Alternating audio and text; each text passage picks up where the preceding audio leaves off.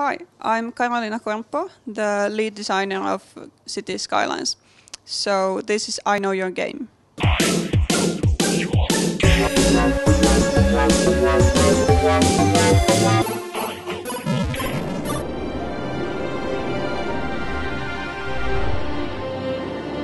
Sometimes an opportunity exists for the people to voice their support for something different.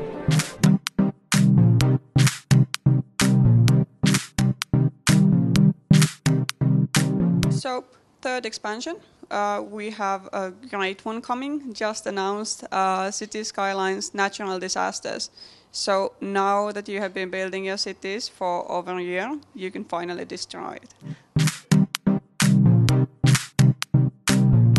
gameplay and, and visual impact. So what we wanted this expansion to be about is uh, not just about uh, trashing stuff. It's also kind of it's challenges to the player. So how well your city can manage to to um, survive if a disaster hits.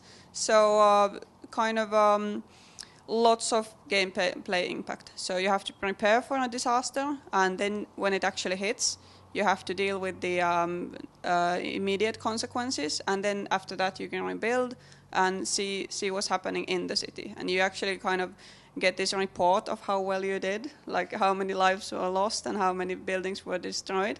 So it's it's all about the challenge.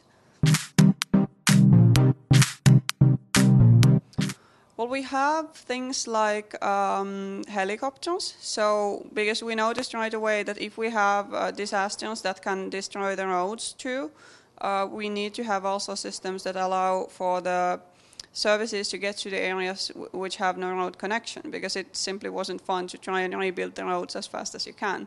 So uh, helicopters help you save lives, and since now we have only revealed the meteor strike, so far, and we will have more than one disaster naturally, but uh, more info for those will come later. So I can say that we have systems for many different disasters on how to prevent or maybe just uh, mitigate the uh, uh results of the disaster. So preparing is is important. But of course, if you choose to, um, you will have a warning that a disaster is coming. And if you choose that you won't do anything, you just want to watch it uh, wash over your city, that's fine too.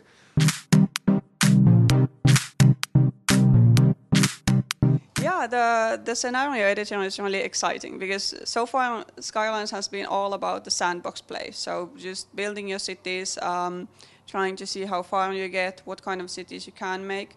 But with the scenario editor, you actually get clear goals. And the editor is awesome in the way that everyone can make their own scenarios. It's a free update for all the players, and it's really easy to use. So everyone can kind of uh, communicate what they find fun in this game. So if I know that um, I will make the perfect map, so there is a spot where you should just place your city, I make this into a scenario where the meteor strike comes three times in the same place within like 10 weeks or so, that, that will be awesome because someone playing the game, they won't know where the meteor is hitting. So they will know that there might be disasters at some point, but they will never know where it hits. So once they build their city on the perfect spot that I made, and then the meteor strike comes, it will be awesome.